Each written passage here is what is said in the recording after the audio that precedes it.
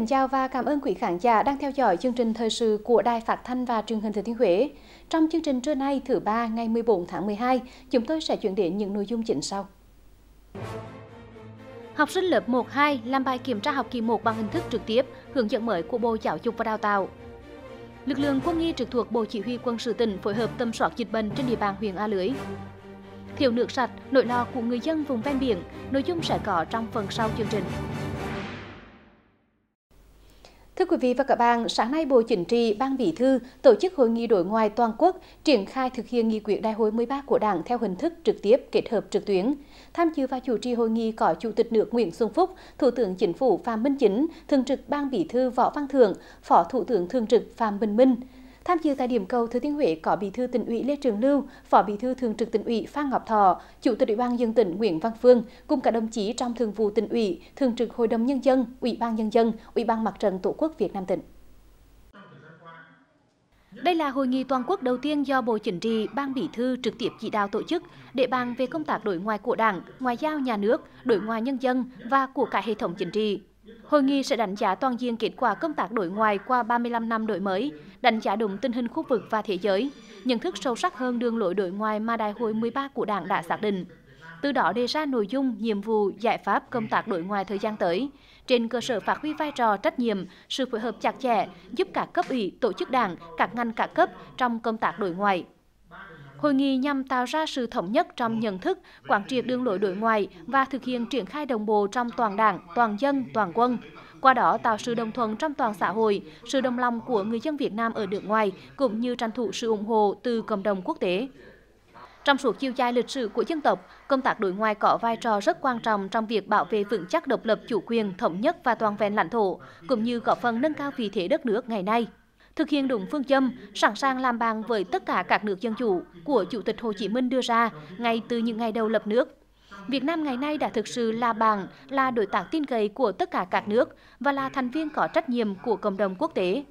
Đến nay, Việt Nam đã thiết lập quan hệ ngoại giao với 189 trên 193 quốc gia thành viên Liên Hiệp Quốc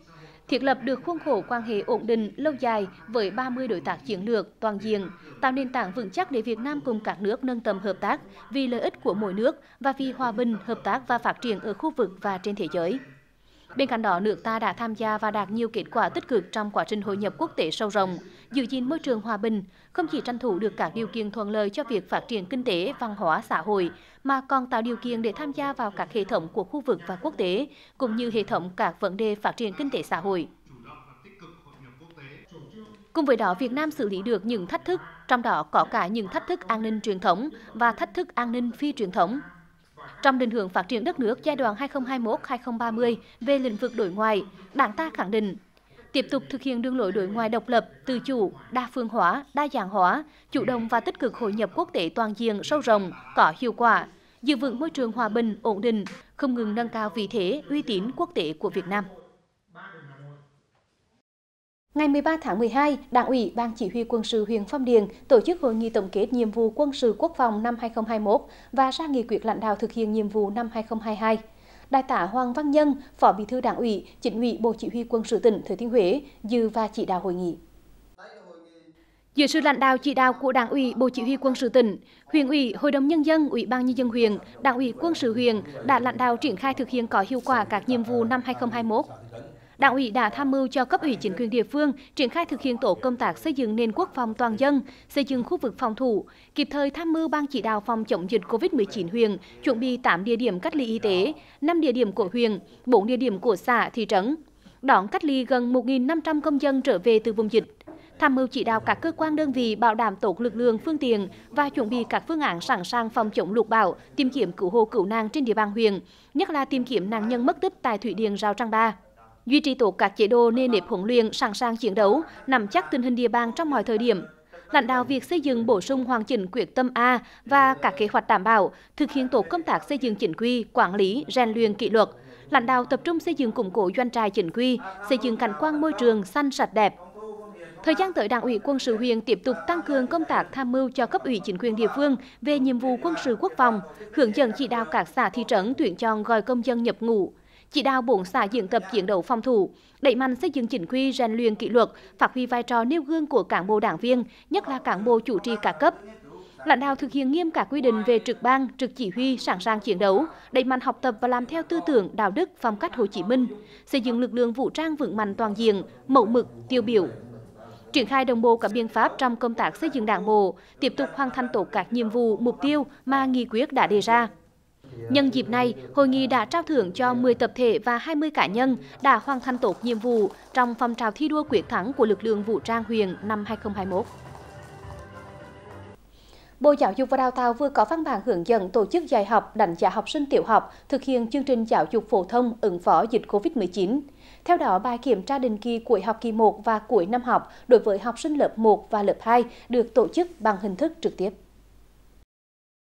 Theo đó, bài kiểm tra định kỳ cuối học kỳ 1 và cuối năm học đối với học sinh lớp 1 và lớp 2 được tổ chức bằng hình thức trực tiếp. Trong trường hợp bất khả kháng, tại thời điểm kiểm tra định kỳ, học sinh không thể đến trường để làm bài kiểm tra bằng hình thức trực tiếp. Nhà trường báo cáo phương án điều kiện tổ chức cho học sinh làm bài kiểm tra định kỳ bằng hình thức trực tuyến về phòng giáo dục và đào tạo để được kiểm tra các điều kiện đảm bảo theo quy định trước khi thực hiện. Đối với học sinh lớp 3, lớp 4 và lớp 5, bài kiểm tra định kỳ cuối học kỳ 1 và cuối năm được tổ chức linh hoạt bằng các hình thức trực tiếp, trực tuyến khi đáp ứng đủ các điều kiện theo quy định, phù hợp với diễn biến dịch COVID-19 tại địa phương vào thời điểm tổ chức đánh giá. Hết ngày 13 tháng 12, Thừa Thiên Huế ghi nhận thêm 350 ca bệnh khẳng định dương tính với virus SARS-CoV-2 có mã bệnh của Bộ Y tế. Như vậy, trong 3 ngày qua, với việc tăng cường tầm soát, số lượng F0 vẫn tăng và chưa có dấu hiệu hạ nhiệt. Trong số 350 ca F0 mới được phát hiện, có 246 ca cộng đồng. Test nhanh trong ngày phát hiện thêm 341 ca dương tính, trong đó 165 ca cộng đồng. Tính đến nay, toàn tỉnh có 7.020 ca F0, cả số bệnh nhân nơi khác chuyển đến Bệnh viện Trung ương Huế điều trị. Hiện đang điều trị 3.039 ca, đã được điều trị khỏi 3.970 ca, tử vong 11 ca. Thành phố Huế vẫn là địa bàn có số lượng F0 được phát hiện khá lớn, tập trung tại các phường xã như Vĩ Dạ, Hương Vinh, Đông Ba, Thuận Lộc, Phủ Thường, An Cửu. Bên cạnh hai địa bàn đang tiềm ẩn nguy cơ cao là thành phố Huế và A Lưới, Ban chỉ đạo phòng chống dịch COVID-19 tỉnh cũng khẳng định không có địa phương nào an toàn ở thời điểm này. Vì vậy, cả địa phương không được chủ quan và phải lưu ý công tác tầm soát ngay từ đầu để phát hiện sớm F0, chủ động cách ly dập dịch, hạn chế lây lan dịch bệnh ra cộng đồng. Trước tình hình dịch COVID-19 diễn biến phức tạp trên địa bàn huyện A Lưới những ngày qua, để khẩn trương tổ chức tầm soát phát hiện nhanh cả ca nhiễm và nghi nhiễm COVID-19 trong cộng đồng, Bộ Chỉ huy quân sự tỉnh đã cử hàng chục cán bộ y bác sĩ nhanh chóng cơ động lên địa bàn huyện miền núi A Lưới để phối hợp với lực lượng y tế triển khai công tác truy vết, tầm soát giúp địa phương. Ngay sau khi huyện A Lưới phát hiện các ca nhiễm COVID-19, Bộ Chỉ huy quân sự tỉnh đã cử 12 cán bộ y bác sĩ có chuyên môn cao của các cơ quan đơn vị nhanh chóng lên đường phối hợp với ngành y tế, giúp địa phương khẩn trương tổ chức tầm soát ngay từ đầu để ngăn chặn dịch lây lan ra cộng đồng. Xác định công tác phòng chống dịch là nhiệm vụ hết sức quan trọng, do đó trong quá trình thực hiện nhiệm vụ, đội ngũ cán bộ y bác sĩ thuộc Bộ Chỉ huy quân sự tỉnh đã khắc phục khó khăn, phối hợp cùng lực lượng y tế của tỉnh, huyện A Lưới, quân y đoàn kinh tế quốc phòng 92 quân khu 4 thực hiện tốt nhiệm vụ tâm soát tại các thôn, tổ dân phố, trường học thuộc các xã, thị trấn. Nhận được lần điều động của Bộ Chỉ huy quân sự tỉnh Thừa Thiên Huế, à, đội quân y chúng tôi à, đã à, cơ động lên địa bàn huyện miền cao A Lưới. Ờ, từ ngày hôm qua đến giờ, ờ, đội chúng tôi chia làm cả hết là bốn tổ nhỏ. Ờ, chúng tôi đi đến nhiều địa điểm khác nhau. Riêng với tổ chúng tôi thì cho từ chiều hôm qua đến giờ chúng tôi đã tầm soát trên diện rộng được khoảng trên 2.000 ca và biết là thời tiết không ủng hộ chúng tôi, mưa và rất lạnh và những chúng tôi đã sẵn sàng nhận hoàn thành tốt và nhiệm vụ mà ừ, cơ quan đơn vị đã giao phó cho chúng tôi. Việc khẩn trương tầm soát truy vết trên diện rộng để kịp thời phát hiện các ca nhiễm và nghi nhiễm COVID-19 sẽ giúp địa phương có các biện pháp khoanh vùng dập dịch, hạn chế các đối tượng bị lây nhiễm. Qua hai ngày tham gia tầm soát, bằng sự nỗ lực cố gắng không ngừng, đội ngũ cán bộ y bác sĩ và các lực lượng y tế địa phương đã tranh thủ từng giờ từng phút, kịp thời tầm soát được hơn 7.270 người. Trong đó, cán bộ y bác sĩ thuộc Bộ Chỉ huy quân sự tỉnh trực tiếp tầm soát được gần 2.130 người. Mặc dù làm việc trong điều kiện không thuận lợi và hết sức nguy hiểm, Tuy nhiên, đội ngũ cán bộ y bác sĩ thuộc Bộ Chỉ huy quân sự tỉnh đã phát huy tốt tinh thần trách nhiệm, nêu cao phẩm chất của người lính cụ Hồ, hoàn thành tốt nhiệm vụ được giao. Mặc dù là khối lượng công việc rất là là là nhiều, và bà con nhân dân đến rất đông và có lúc là, là bất cập về cái ngôn ngữ nhưng mà với tinh thần người lính thì chúng tôi đã ờ, cố gắng hết sức, không quản ngày đêm, chúng tôi làm xuyên trưa, Ờ, xuyên xuyên tối. Đây là một nhiệm vụ tôi thấy là một nhiệm vụ rất quan trọng đối với bà con nhân dân để ờ, khống chế kịp thời khống chế ờ, được dịch Covid-19 để đảm bảo về an sinh cho nhân dân. Những ngày tới, cán bộ y bác sĩ thuộc Bộ Chỉ huy Quân sự tỉnh sẽ tiếp tục phối hợp thực hiện tốt công tác tầm soát dịch bệnh trên địa bàn huyện. Việc kịp thời cử hàng chục cán bộ y bác sĩ lên giúp huyện A Lưới trong công tác tầm soát dịch bệnh là việc làm hết sức trách nhiệm và nhân văn của Bộ Chỉ huy Quân sự tỉnh. Qua đó góp phần quan trọng giúp địa phương kịp thời đảm bảo an toàn sức khỏe cho nhân dân, cũng như thực hiện thắng lợi công tác phòng chống dịch COVID-19 trên địa bàn huyện. Sở Tư pháp Hà Nội đã công bố mức xử phạt đối với các hành vi vi phạm quy định phòng chống dịch COVID-19, trong đó có 10 hành vi áp dụng xử lý hình sự, với mức phạt tiền cao nhất lên đến 200 triệu đồng và có thể bị xử lý hình sự với mức phạt tù tối đa đến 20 năm hoặc tù chung thân. Đáng chú ý là hành vi đưa lên mạng máy tính, mạng viễn thông, thông tin giả mạo, thông tin sai sự thật, thông tin xuyên tạc về tình hình dịch bệnh COVID-19 gây dư luận xấu thì bị xử lý về tội đưa hoặc sử dụng trái phép thông tin mạng máy tính, mạng viễn thông theo quy định tại điều 288 và người có hành vi đưa trái phép thông tin cá nhân, bí mật đời tư, xúc phạm nghiêm trọng nhân phẩm, danh dự của nhân viên y tế, người tham gia phòng chống dịch bệnh COVID-19, người mắc bệnh, người nghi ngờ mắc bệnh COVID-19 thì bị xử lý về tội làm nhục người khác theo quy định tại điều 155. Chiều ngày 13 tháng 12, Sở Y tế thành phố Hồ Chí Minh cho biết, đơn vị này đã làm việc với cơ quan chức năng tại Hồng Kông và được biết kết quả xét nghiệm ba hành khách từ thành phố Hồ Chí Minh đến Hồng Kông dương tính với chủng Delta, chứ không phải biến thể Omicron như thông tin trước đó. Sở Y tế thành phố Hồ Chí Minh thông tin thêm, cơ quan chức năng Hồng Kông đã giải mã trình tự gen của ba du khách bay từ thành phố Hồ Chí Minh. Sau khi giải mã, ba du khách mắc biến chủng Delta liên quan đến biến thể Omicron. Hiện nay các bộ phận chức năng đã có sự kiểm tra sát sao cũng như giám sát chặt chẽ đặc biệt đối với đối tượng người nước ngoài nhập cảnh bằng đường hàng không và hàng hải. Tuy nhiên, tính tới hiện tại, biến thể Omicron chưa xuất hiện tại thành phố Hồ Chí Minh. Bộ Văn hóa Thể thao và Du lịch vừa ban hành quy tắc ứng xử của người hoạt động trong lĩnh vực nghệ thuật. Quy tắc ứng xử chung là đặt lợi ích của dân tộc, quốc gia lên trên hết, trước hết, trong danh dự đề cao trách nhiệm công dân, trách nhiệm của người hoạt động nghệ thuật. Gương mẫu chấp hành các quy định của pháp luật theo tinh thần thường tôn pháp luật, tôn trọng quyền và lợi ích hợp pháp của các tổ chức cá nhân, không làm tổn hại uy tín của tập thể, sức khỏe, danh dự nhân phẩm của người khác, giữ gìn phẩm chất đạo đức, uy tín, danh dự của người hoạt động nghệ thuật, phù hợp với chuẩn mực đạo đức xã hội, thuần phong mỹ tục và truyền thống văn hóa Việt Nam. Quy tắc nhằm xác định các chuẩn mực trong hành vi ứng xử, thống nhất nhận thức, hành động của người hoạt động nghệ thuật, các cơ quan, tổ chức cá nhân có liên quan đến lĩnh vực nghệ thuật và toàn xã hội. Chính phủ vừa ban hành Nghị định 112 quy định chi tiết một số điều và biện pháp thi hành luật người lao động Việt Nam đi làm việc ở nước ngoài theo hợp đồng. Trong đó có quy định điều kiện đưa lao động đi làm việc tại nước ngoài. Cụ thể, đối với doanh nghiệp hoạt động dịch vụ đưa người lao động Việt Nam đi làm giúp việc gia đình ở nước ngoài, Nghị định quy định doanh nghiệp dịch vụ phải duy trì các điều kiện quy định tại Điều 10 Luật Người lao động Việt Nam đi làm việc ở nước ngoài theo hợp đồng và đáp ứng các điều kiện như đang thực hiện hợp đồng cung ứng lao động Việt Nam đi làm việc tại nước tiếp nhận, có đủ số lượng nhân viên nghiệp vụ để thực hiện nội dung hoạt động và đáp ứng tiêu chuẩn sau.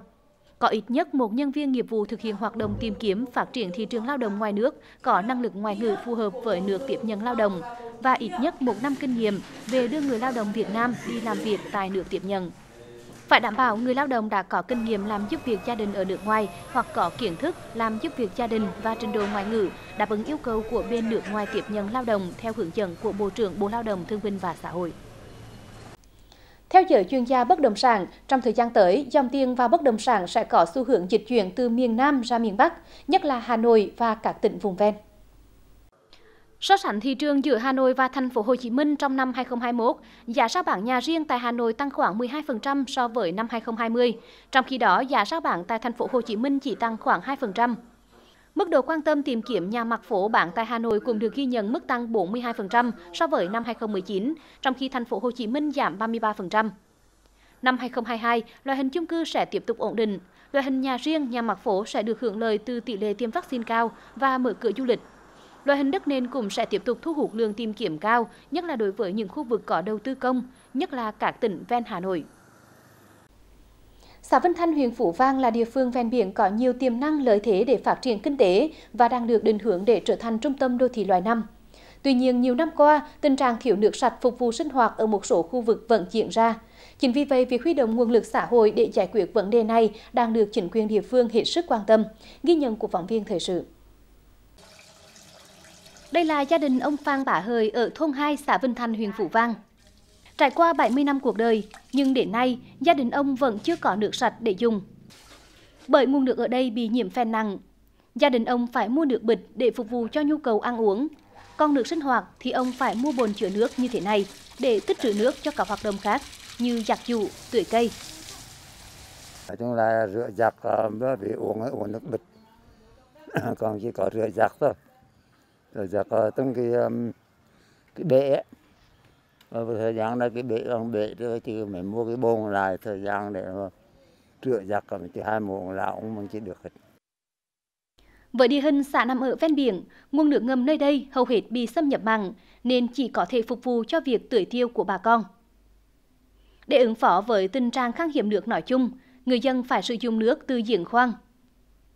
Vấn đề càng trở nên cấp thiết hơn khi mùa hàng về, nước giếng khoan hầu như càng kiệt. Bà con thường xuyên phải đi xa hàng cây số, mua hoặc xin nước sạch. Nhiều hộ dân còn tích trữ nước mưa trong các bể đựng nước, dẫn đến nước tích tụ bụi bẩn, không đảm bảo vệ sinh. Mùa mưa lũ thì nước sạch ở đây cũng rất khó khăn.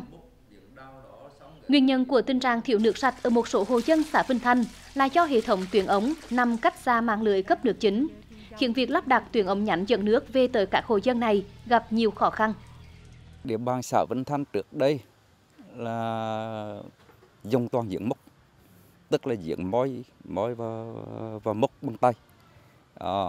sau khi thì có có một thời gian á, là bắt đầu UNICEF họ là coi như về là họ khoan giếng à, ờ, họ khoan giếng xong cái là bắt đầu là, là, là, là bơm bơm tay. Bơm tay thì coi như khi mà có điện có điện bắt được khi đó mới ờ, là chuyển qua là dùng tơ để hút lên để dùng nhưng mà cái nguồn nước đó thì nó thực là quá phèn quá hôi. À, mùi hôi rất khó chịu. Có những năm qua thì người dân chúng ta gặp rất nhiều khó khăn trong việc sử dụng nước máy. Tiếp cận nguồn sử dụng nước máy rất khó vì